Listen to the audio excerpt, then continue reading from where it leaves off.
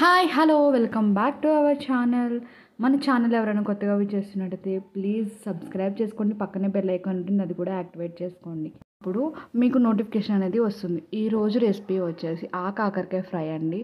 ఇది ఈ సీజన్లో మనకి బాగా దొరుకుతుంది ఆ కాకరకాయ అనేది. తప్పకుండా ట్రై చేయండి ఎవరైనా ట్రై చేయకపోతే. ఫస్ట్ ఒక పాన్ తీసుకోండి దాంట్లోకి త్రీ టేబుల్ స్పూన్ ఆయిల్ అనేది యాడ్ చేసుకొని కొంచెం హీట్ అయిన తర్వాత దాంట్లోకి హాఫ్ టీ స్పూన్ ఆవాలు వేసుకోవాలి. తర్వాత దాంట్లోకి హాఫ్ టీ స్పూన్ జీలకర్ర వన్ టీ స్పూన్ మినపప్పు యాడ్ చేసుకోండి తర్వాత కొంచెం కరివేపాకు కూడా యాడ్ చేసుకోవాలి. కొంచెం ఫ్రై అయిన తర్వాత అవి దానిలోకి సన్నగా కట్ చేసి పెట్టుకున్న పచ్చిమిర్చి ఒక నాలుగు యాడ్ చేసుకోండి.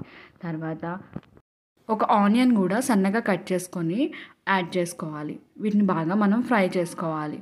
ఇవి బాగా ఫ్రై వీటిని బాగా ఫ్రై చేసుకున్న తర్వాత దీనిలోకి ఆ కాకరకాయని కూడా యాడ్ చేసుకోవాలి. ఆ కాకరకాయని మనం చిన్న చిన్న ముక్కలుగా అంటే సన్నగా కట్ చేసుకొని యాడ్ చేసుకోండి. ఇలా సన్నగా కట్ చేసుకోవడం వల్ల త్వరగా మగ్గిపోతుంది అనమాట ఆ కాకరకాయ అనేది. దానికోసం ఇలా సన్నగా కట్ చేసుకోవాలి. దీంట్లోకి ఒక వన్ టీ స్పూన్ సాల్ట్ అనేది యాడ్ చేసుకోవాలి. సాల్ట్ యాడ్ చేసుకున్న తర్వాత ఒక ఫైవ్ మినిట్స్ లిడ్ క్లోజ్ చేసి బాగా మగ్గించుకోండి. ఇది బాగా మగ్గిన తర్వాత దీనిలోకి ఫైవ్ మినిట్స్ తర్వాత మనం లిడ్ ఓపెన్ చేసి చూస్తే ఇలా మగ్గిపోయి ఉంటుంది. దీనిలోకి ఒక హాఫ్ టీ స్పూన్ పసుపు వన్ టీ స్పూన్ కారం యాడ్ చేసుకోవాలి. తర్వాత పప్పుల పొడి ఒక త్రీ టేబుల్ స్పూన్ కూడా యాడ్ చేసుకోవాలి. ఈ పప్పుల పొడి నేను చట్నీ పొడి అని చెప్పి మీకు వీడియో పెట్టాను కదండి. అదే చట్నీ పొడి నేను యాడ్ చేశాను.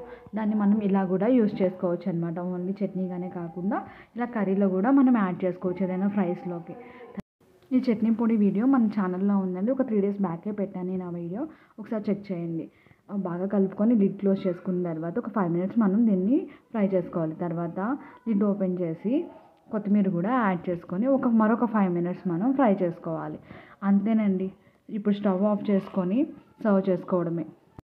చాలా సింపుల్గా సైడ్ డిష్ లాగా మనం ఇది చేసుకోవచ్చు అండి చాలా టేస్టీగా కూడా ఉంటుంది. ఒకసారి ట్రై చేయండి. ఎవరైనా ట్రై చేయకపోతే నా వీడియో కనుక మీకు నచ్చినట్లయితే ప్లీజ్ లైక్ చేయండి షేర్ చేయండి. ఎవరైనా కొత్తగా చేసినట్లయితే ప్లీజ్ సబ్స్క్రైబ్ చేసుకోండి. Thanks for watching. బాయ్.